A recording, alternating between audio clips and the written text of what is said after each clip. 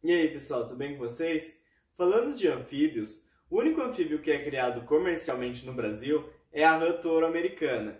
E para ela ter todo o seu ciclo de desenvolvimento, né, vamos falar assim, do nascimento até o abate, leva em torno de 6 a 7 meses.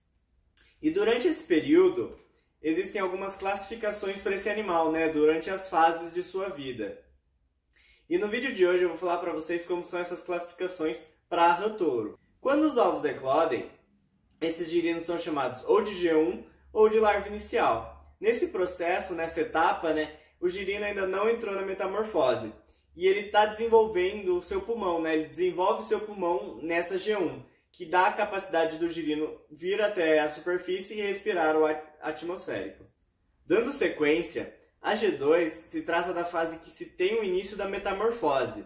Nessa etapa, os girinos já começam a se alimentar, né? eles começam a buscar alimento, e também é possível ver o desenvolvimento, né? o início do desenvolvimento dos membros posteriores. Já na G3, os membros posteriores eles estão quase completos. Quando se chega na G4, os membros posteriores eles estão completos, né? eles estão idênticos a como eles vão ser quando o animal for adulto. E nessa fase, os braços eles já estão prontos, porém eles estão internalizados dentro do girino. Então você nota uma pequena deformação no girino porque o bracinho ainda está escondido.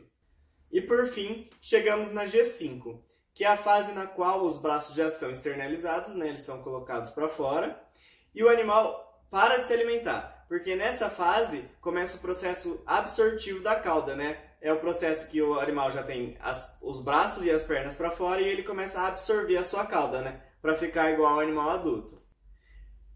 Finaliza esse processo, né, que vai do G1 até o G5, o animal ele vai estar exatamente igual a um adulto, porém ele ainda não é animal adulto, né? Ele é considerado como um imago, né? Que é semelhante, ele é idêntico ao animal adulto, mas não é um adulto ainda. Esse processo de imago, ele vai, né, desde quando ele termina a metamorfose até quando ele supera o peso de 50 gramas. Quando ele supera o peso de 50 gramas, aí ele já é considerado uma rã, né, um animal adulto. Depois de saber todas as fases né, do que o girino passa, isso ajuda muito né, em escolher melhores manejos para os animais, né?